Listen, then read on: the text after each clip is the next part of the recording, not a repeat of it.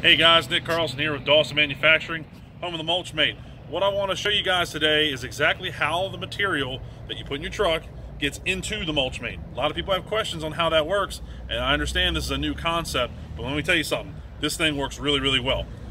Right now, I've got the Mulch Mate turned on. Both green lights are on. I have my remote switch here, my little on and off button here. What I'm gonna do is I'm gonna open this door and I'm gonna show you how that mulch gets pulled into this system. So let's go ahead and take a look real quick.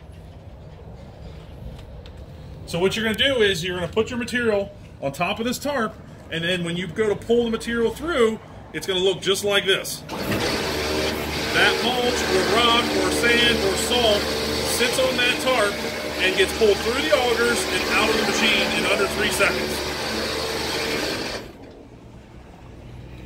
So it's that easy, guys. All you got to do is throw your material in your truck. Your truck is your hopper, if you will.